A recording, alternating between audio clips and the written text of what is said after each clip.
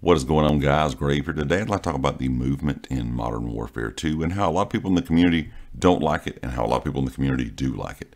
It's back to that old school style movement, what we saw in Modern Warfare 2019, what we saw in some of the original Call of Duty titles like COD 4, Modern Warfare 3, the original Modern Warfare 2.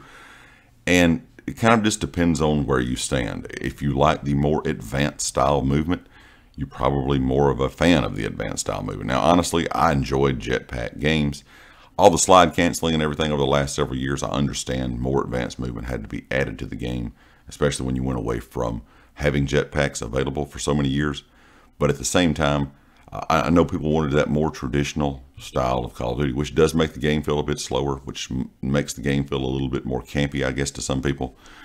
It's just going to kind of depend on where you stand on that. I really don't mind either one of them. I do miss jetpack games. I kind of wish they would have figured out a way to continue that. I thought being able to move across the map that quickly, everyone still be able to, you know, move around the map kind of at the same pace. And if you were really good at movement, you know, you were kind of ahead of the curve. Now it feels like some people, even if you're really good at moving around the map, that you really have kind of a disadvantage right now. There's even Call of Duty pro players that are talking about this, how you know, you always could jump shot in the game. And I know jump shotting and bunny hopping and things like that were a real problem in the beta. But right now, if you try to jump shot and you try to ADS while you're jumping, it really is slow to aim down sight. It's a lot slower than it would be if you were just standing still. I think there are some ways they could tweak the movement to where it's not absolutely insane. If they want it to be more like a classic Call of Duty, that's fine, if that's what the developers are looking to do.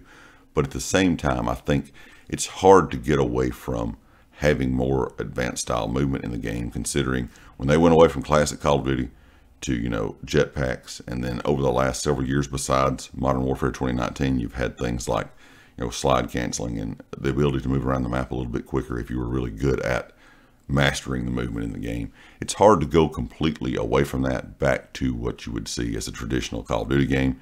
And one of my uh, kind of opinions on it is there's a lot of people that used to play Call of Duty uh, a long time ago, like I used to. I played all the COD games.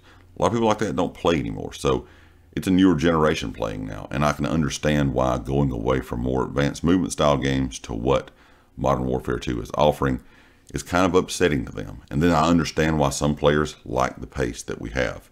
Um, I'm kind of curious what you guys think. Do you like the pace the game is kind of set at? Would you like to see a little bit more advanced movement added back into the game? Or would you like to see a lot more advanced movement uh, in Call of Duty games in the future? Leave me a comment with your thoughts. And of course, if you like the video, hit the like. If you haven't subscribed yet, please do so. And I'll catch you next time. Peace.